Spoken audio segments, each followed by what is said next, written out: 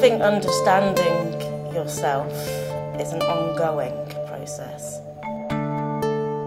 Like a lot of people, a lot of stuff's happened to me. Not all of it's been good. What doesn't kill you makes you stronger.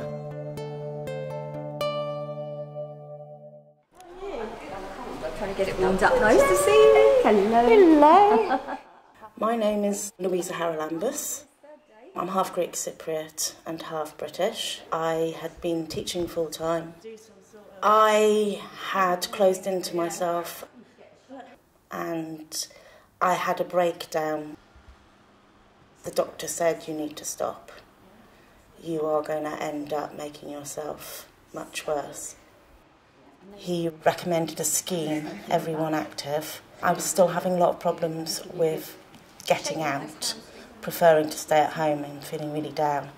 My mum suggested, how about a bit of self defence?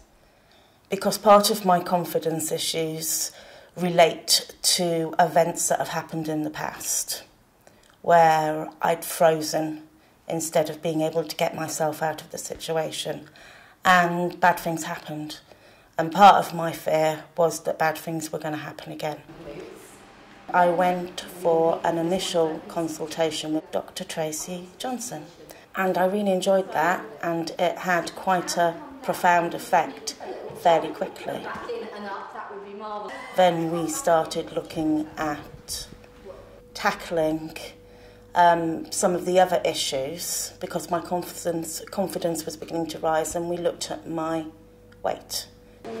Oh, yes, there we go. Very nice. We started off with a three month nutrition plan. I've struggled with the nutrition. I find it really difficult to stay on track. There's no rush. Tracy's got a saying actually I'm not a dog, I don't need to reward myself with treats. But that's what I do.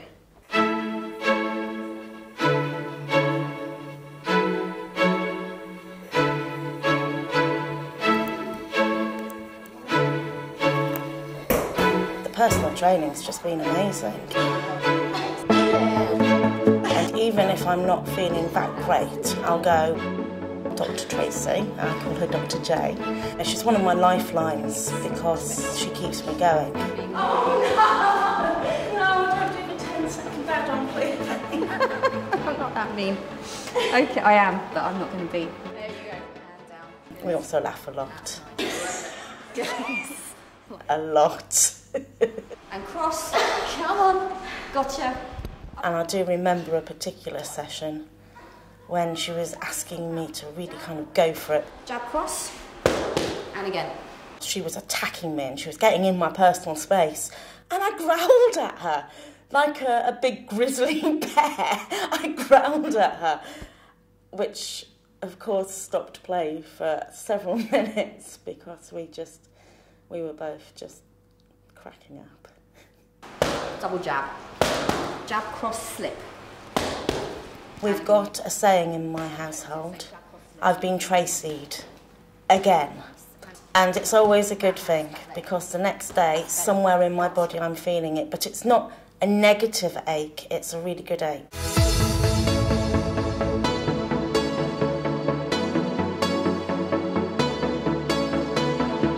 She's the sort of person you instinctively trust.